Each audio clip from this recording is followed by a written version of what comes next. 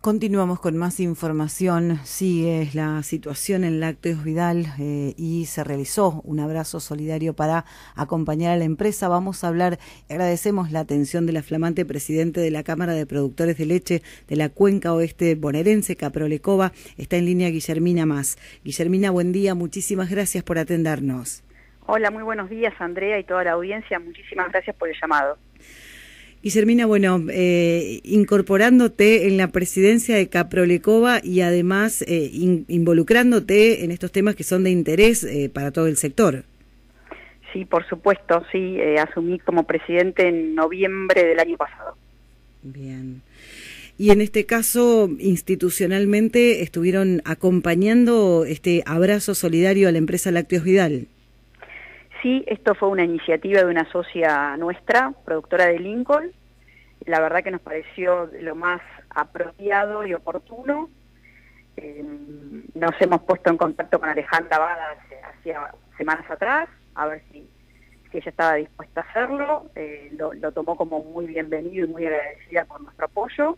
Y bueno, así fue que la Cámara fue la, la que inició esta movida, si se quiere, invitamos a todas las entidades, instituciones a sumarse. La verdad que han sido numerosas las que se han sumado, eh, desde el arco de lo que es producción, industrias, y, bueno, y el sábado estuvimos, había numerosos, numerosa cantidad de productores, industriales, colegas de, de Lácteos Viral, vecinos, la verdad que estamos muy contentos con la convocatoria. ¿Cuál es la situación al día de hoy de la empresa? Eh, ¿En qué instancia se encuentra la lucha?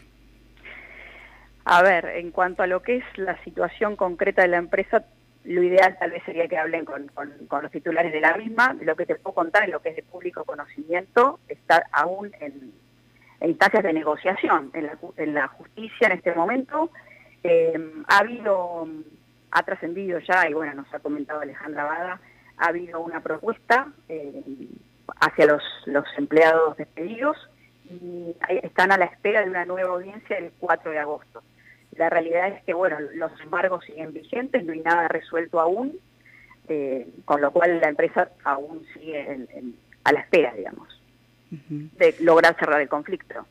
Lo importante que quiero recalcar es eh, el por qué desde la Cámara tomamos esta iniciativa fueron mis palabras del sábado, básicamente la Cámara, eh, digamos, tenemos nosotros tenemos una visión bien de cadena, ¿sí? Eh, entonces, eh, la realidad es que como más allá de que como productores, por supuesto que somos afectados con, este tipo de prácticas que incluyen bloqueos que todos hemos visto acá en la zona, ¿no? En el caso de la actividad, de hace un año atrás aproximadamente, más allá de nuestro interés particular, con la mirada de cadena no podemos permitirnos este tipo de prácticas. La cadena, eh, de, lo que es la cadena láctea, la lechería tiene mucho por aportar, eh, puede crecer, eh, ese crecimiento necesita de eficiencia, que tiene que estar tanto en lo que es el, eslabón primario, si se quiere, nosotros como productores tranqueras adentro, y también tiene que haber eficiencia en la industria, y este tipo de prácticas claramente van en contra de eso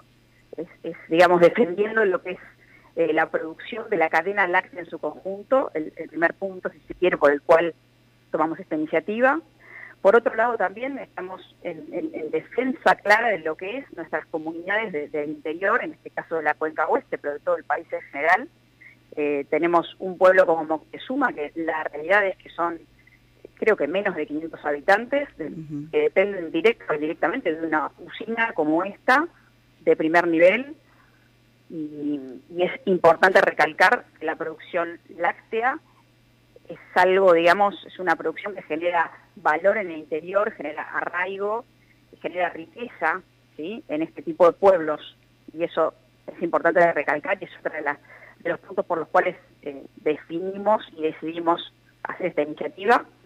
Y lo último y no menos importante es resaltar y reivindicar el, accionar, el, eh, digamos, el eh, poder comercial, comerciar y producir dentro de lo que es el marco de la ley, el marco de negociar eh, a, través del diálogo, ¿sí? no normalizar este tipo de prácticas que son abusivas y que son ilegales y que necesitamos decirle basta y dejar de no mancharlas. La producción agropecuaria en general atraviesa desde hace muchísimo tiempo diversos inconvenientes, algunos que tienen que ver con la naturaleza y a esto se enfrentaron desde el minuto cero cuando se empezó eh, a practicar la, actividad. Por otra parte, y, que también genera muchísimos inconvenientes, son las medidas eh, de los sucesivos gobiernos que eh, han atentado contra la producción y hoy este tipo de prácticas que vienen a sumar un inconveniente más eh, para los productores agropecuarios. Digo, vaya si hay motivos para unirse cualquiera sea la producción en este tipo de reclamos, porque la situación se puede dar en cualquier lugar y en cualquier momento. Sí, claramente, es así como decís. Eh, a, ver, lo principal es eh, el tema de, todo lo que tiene que ver con la política económica, sectorial, económica, general, ¿no? Esto a, lo que es producción agropecuaria y la leche claramente no es la excepción, eh, nos afecta negativamente, lo que es la producción de leche, eh, digamos, se ve muy afectada con la realidad de no tener una estabilidad clara a nivel país, no contar con moneda, no poder planificar, es una, una actividad que requiere de largo plazo, ¿sí? todas las decisiones son de largo plazo, hay muchas inversiones por realizar que obviamente nos van a generar oportunidades, pero esas inversiones son de repagos largos y necesitan estabilidad, necesitamos moneda. Por otro lado, como te decía, tenemos mucha, mucho potencial para crecer y ese crecimiento viene del lado de la exportación, por ende necesitamos tener un país mucho más abierto al mundo para conquistar esos mercados, necesitamos ser previsibles, tenemos una brecha cambiaria que atenta en contra de la exportación, tenemos derechos de exportación vigentes, eh, en, general en todo, en todo lo que es la producción agropecuaria, particularmente en la producción láctea tenemos un 9% de retenciones para lo que es leche en polvo, un 4,5% para lo que es quesos y otros productos. La realidad es que hoy, de hecho, el poder, el poder de pago ¿no? de, una empresa exportadora está por debajo del precio que estamos cobrando hoy los productores y sabemos que encima está por debajo de nuestro precio de equilibrio, ¿sí? Haciendo números redondos, nuestro precio, nuestro precio actual ronda los 100 pesos, estamos con el impacto de la sequía que estamos absorbiendo, nosotros necesitaríamos un precio un 20% por arriba de eso para poder estar en un negocio de manera estable y reinvirtiendo y manteniéndonos allá dentro del negocio. Guillermina, eh, por supuesto que la Cámara sigue trabajando en representación y en defensa de los productores y este nexo que se establece con Lácteos Vidal va a continuar, al menos para acompañar lo que resta de, toda esta situación. Sí, sí, por supuesto. Ya te decía, nuestra mirada es de cadena y estamos, digamos, atentos a este tipo de, de casos eh, más allá de que obviamente representamos a los productores de la cuenca oeste de Buenos Aires, esta mirada de cadena nos hace, eh, por supuesto, querer trabajar en conjunto con la industria como cadena, como tiene que ser. Te agradecemos muchísimo por estos minutos y quedamos a disposición para difundir todo el trabajo de Caprolecoba. Muchísimas gracias, Andrea. Saludos a la audiencia. Que tengas buen día. Hasta luego. Igualmente.